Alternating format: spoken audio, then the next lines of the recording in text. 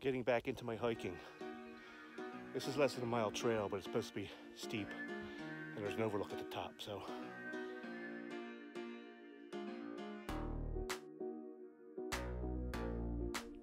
Not bad, huh? Climb wasn't that bad.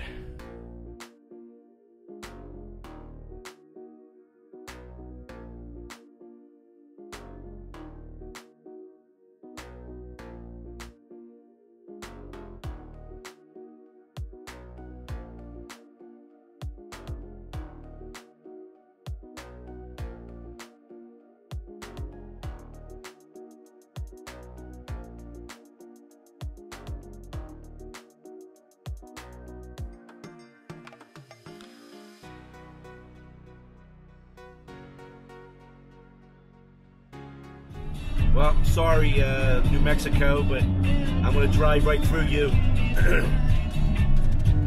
Gets too cold at night to stay in New Mexico. My van, my RV, isn't a four-season RV, so all my storage tanks are underneath the van. So if it freezes at night, they'll freeze. So I gotta stay somewhere where it's above freezing. So I'm um, gonna go straight through to Arizona. It's a little warmer.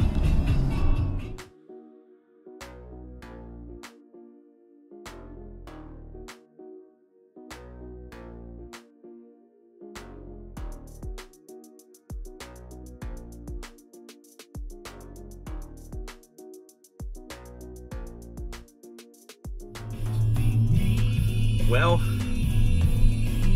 even though I'm not crossing the border, there's a border patrol here that I guess it's just inspection to make sure I don't have any Mexicans dri driving, riding in the back.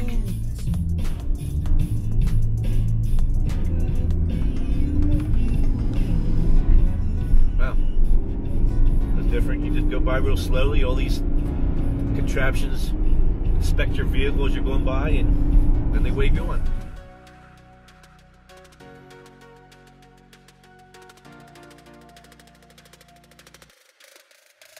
So I just arrived at my site in Arizona.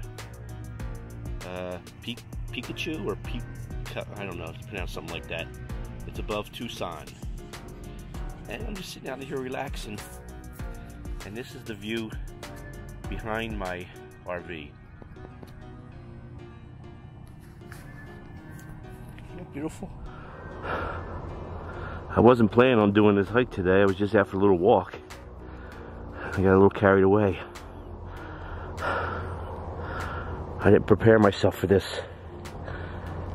I put my hiking shoes on. Maybe come back tomorrow. And then I could, uh, and then I'll finish it. I went up a little further just to see what it was like. And I'm definitely going to come back tomorrow after I put my hiking gear on. Didn't look like I had too much further to go, but started to get rocky.